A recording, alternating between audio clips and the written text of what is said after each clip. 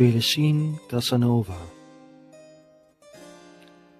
Original title Madame Casanova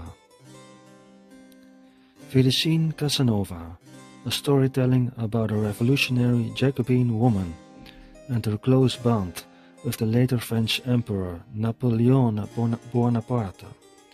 A story by Gabi von Schoenthal. About the author Gabi von Schoenthal, pseudonym, born as Gabriele Philipp, and got married under the name Gabriele Frischauer, born September 12, 1926 in Vienna, died November 20, 2002 in Vienna, was an Austrian actress and writer.